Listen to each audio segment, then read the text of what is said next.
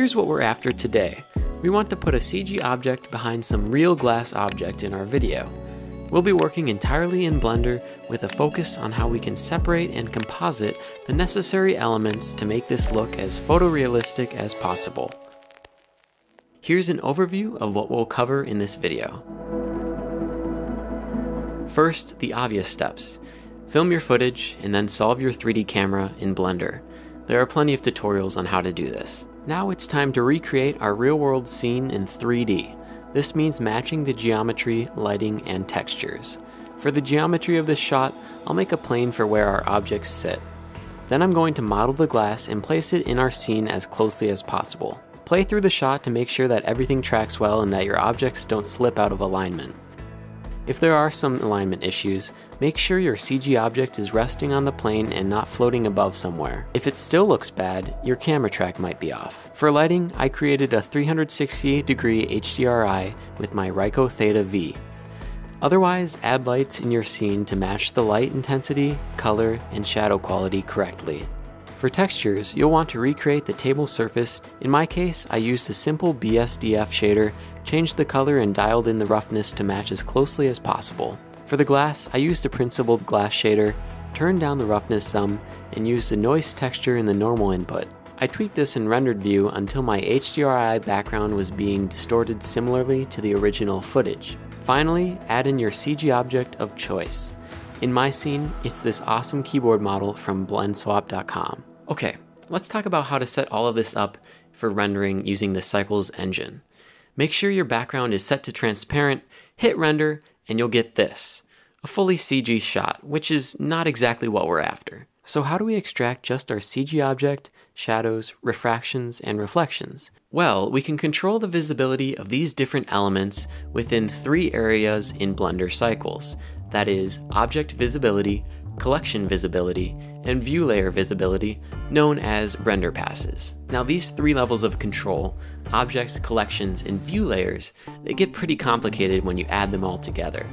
And it's often at this point in a tutorial when you'll hear someone say, If it sounds confusing, you don't have to worry about it as long as you just choose those two passes there, and then we're ready to jump into our render settings here. I understand why people often gloss over this part. It's really complicated and, and, it really takes a long time to explain. To compromise, I made an infographic which you can find linked in the description. It should help you understand how objects, collections, and view layers work together to give you control over different visibility options in cycles. Let's start to use these three levels of control to break up our scene. We are going to take our current view layer and use it to render out just our CG object. So we will name the view layer main object. Now within this view layer, we want to control the visibility of our main CG keyboard object, our table, and our glass. So we'll place them all in their own collections. Select each object, press M, hit New Collection. So I end up with four collections, one for my scene camera and any lights, one for my main object, the keyboard, one for my table, and one for my glass. Now, if we right click a collection and go to View Layer, we can set the visibility of the collection and all the objects that are inside it. You'll see in my infographic there is a section about these collection visibility settings. For our purposes, we want to set the glass collection to hold out, which will mask out wherever our glass is. Then we'll set the table collection as indirect, meaning it will show indirectly in our keyboard. Now, if we hit render, we have just our main object without any part of it that goes behind the glass. Main object view layer completed. Let's create another view layer and name it shadow. You'll see we have the same collections in this layer as before. All view layers share the same collections. Now, we want to extract just the shadows cast by the keyboard onto the table. We'll go to our table object and in the properties tab, under visibility, we'll make it a shadow catcher. This is part of the object visibility control I was talking about. Again, we want our glass to mask out the shadow, so we'll set that collection to hold out. Now, even though our glass is set to hold out, it will still cast a shadow. So I'm going to go to my glass object visibility settings and disable shadow. I'll also disable diffuse and glossy while I'm here. Now my glass object will not show up in any shadows, diffuse surfaces, or glossy reflection surfaces, which is good because our real glass already shows up in those ways. Finally, we'll set our main object collection to indirect only, so we only see the shadows it makes. Now shadows are done. We have just the shadows masked out by the glass. Shadow view layer completed. Let's create yet another view layer and name this one Reflections. In this view layer, we'll capture the reflections of our CG object on the table surface. To start, we are going to duplicate the table collection we have, right click, duplicate collection, and turn the original one off. We're doing this because the original table object is now set to a shadow catcher, and we don't want to change that. So now in this duplicate collection, we'll also have created a duplicated table object. We'll go back into the Object Visibility tab and disable the shadow catcher so that it shows up normally. Now we'll set our main object and glass collections to set holdout. And in our render view, we should see nothing but the table with shadows and reflections on it. To get just the reflections of the keyboard in the table, we'll enable certain render passes for this view layer. Remember, this is our third level of controlling what we see in our scene. In the Render Passes tab then, let's enable the Glossy Indirect Pass. So why did we choose this? Allow me to illustrate. The light rays which show the reflection of our keyboard in our table are the rays that leave our light source, bounce off our keyboard, bounce off the table, and into the camera. These particular light rays would be labeled glossy light rays, since the last surface they interact with before hitting the camera is a partially glossy or reflective surface. And since our light rays bounce more than once, we choose indirect. Altogether, we get glossy indirect. See this section of the infographic linked in the description for more information. Now, if we enable render single layer and we render this view layer alone, in the render view window, we can then toggle down and view what this glossy indirect render pass looks like.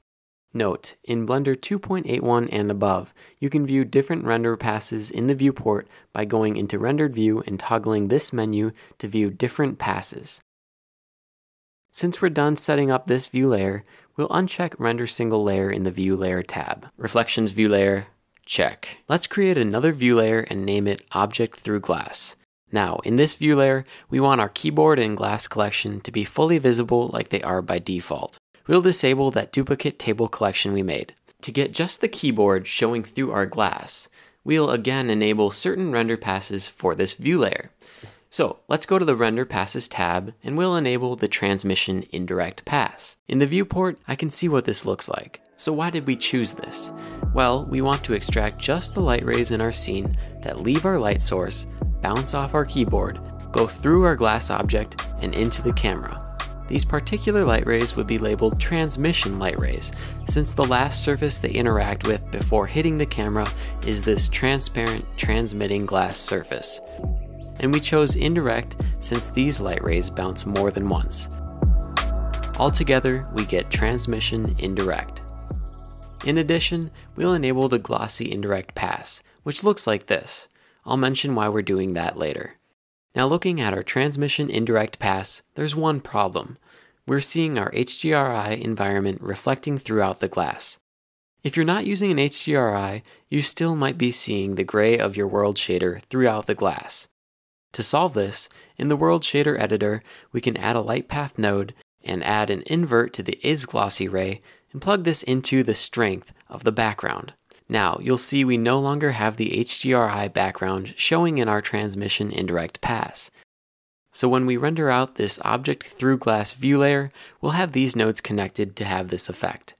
But for the other view layers we've already made, we'll disconnect this so that the HDRI behaves like normal. Object through glass, view layer, check. Finally, I'm going to add just one more view layer. Name this one glass mask.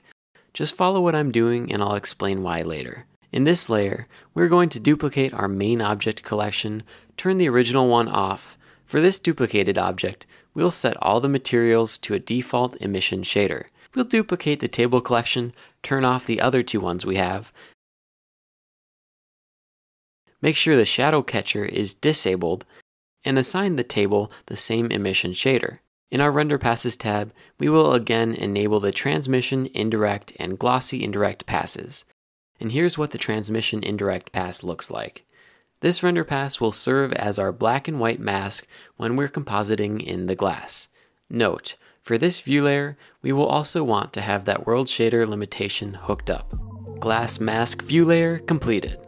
Now we have our five view layers set up. Since all view layers share the same collections, and we added more collections as we went, we'll have to go back through our earlier view layers and completely disable the unneeded collections from those layers. Just unclick the box to completely disable a collection. Also to review, as far as render passes go, our main object view layer will output the combined and Z pass which are enabled by default, which we want, this is good. The same for our shadow layer. Our reflection layer will also output the glossy indirect pass we enabled. Our object through glass layer will output the default passes in addition to the transmission indirect pass and glossy indirect pass we enabled. And our glass mask layer will output the same. Now we have to render out our first three layers on their own, since we need the world shader enabled as normal. We'll disable the last two layers by unchecking Use for Render. Then hit Render, save out this image somewhere as an OpenEXR multilayer file. Then only enable the two last view layers we made, hook up that light path node in our world shader, render, and save another OpenEXR multilayer file. Now we'll head over to our Compositor tab to start combining these different elements together. Make sure Use Nodes and Backdrop are on. I'm going to delete everything here to show you how we'd start from scratch.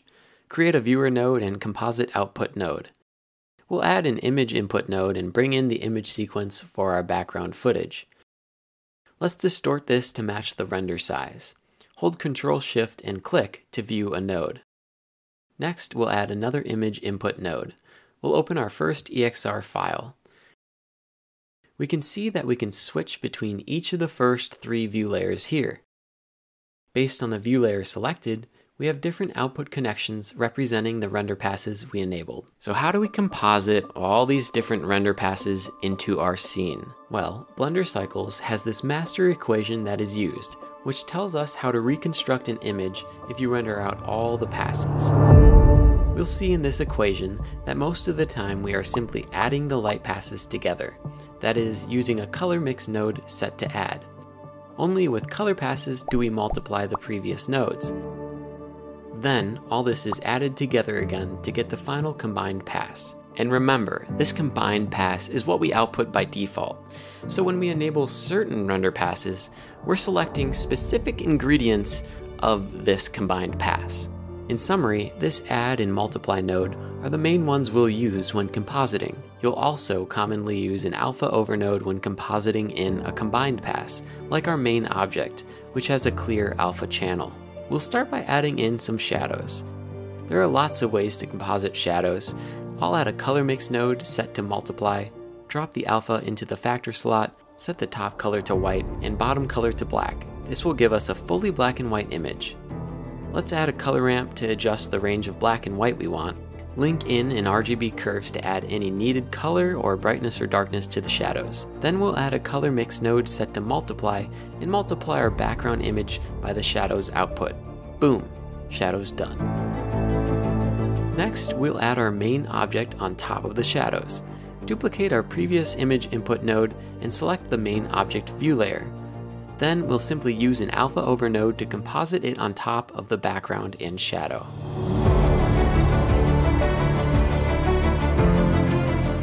Next, let's add the object showing through the glass. Add an image input node and open up that second EXR file we rendered out. Select the object through glass view layer. Remember, we want to work with the transmission indirect render pass we created. Now, how do we put this on top of what we have already? Well, maybe we use a color mix node, set it to add, and try to add it in. No, that doesn't look quite right. What about an alpha over node? That doesn't do much since our transmission indirect pass has that black background baked in with no alpha. We could try to key out the black background with the Luma key node, uh, but those results look pretty bad. What would be ideal would be to have some sort of black and white mask that shows us exactly where our CG object shows through our glass and masks out everything else.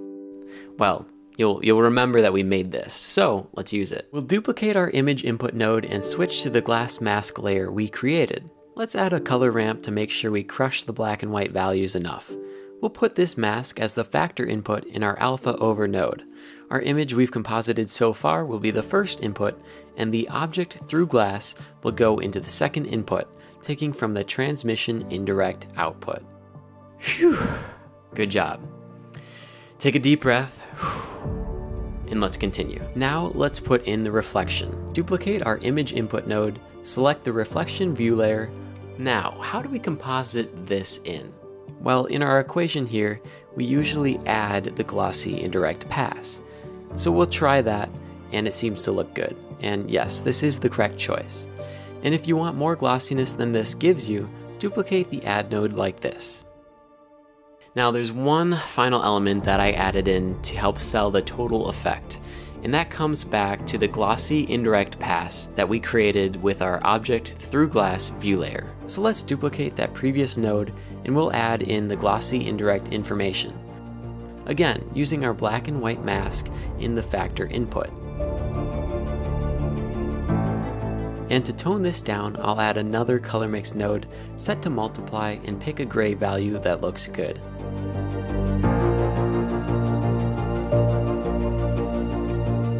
Now we have a composite that looks awesome. Feel free to add in notes to tweak sharpness and to work with color to improve the overall realism. And to render out the final sequence, select Use for Render for our first three view layers only. Make sure our HDRI is correct and in the compositor, we'll have to make sure our composite node has a render layers node going into it. This is because whatever is hooked up into this composite node is what is saved out when we hit render animation, and we want to save out our render layers. Set an output for the correct frame range and select Open OpenEXR Multilayer Sequence. Let that render out by hitting Render Animation. Then we'll turn off these first three layers and only render out our object through glass and glass mask view layers. Make sure to change that HDRI and render out another OpenEXR multilayer sequence to a different location. Now in the compositor, everywhere we have those image input nodes, we'll switch out our new OpenEXR sequences instead of just those single frames. In the same way, we can select the correct view layer and replace the connections for each node.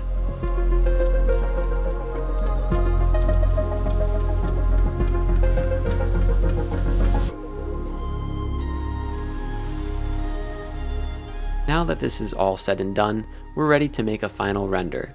Make sure the final composite is hooked up to the composite node, set an output type of PNG. Hit render animation, and this should go pretty fast outputting final PNGs of the entire composite we made. So there you have it. Thank you for following along. Uh, congratulations if you made it this far. If you'd like, you can download the Blender project file over at my Patreon linked in the description. These tutorials take a while to put together, um, and I hope to do a lot more, and so I'd be honored to have your financial support in doing that. More than that, if you like this tutorial, um, please give it a like, share it with your friends, subscribe for when more do come out, and until then, bye bye. I am holding my phone with a sock over it so that you can have impeccable audio for this tutorial. You are welcome.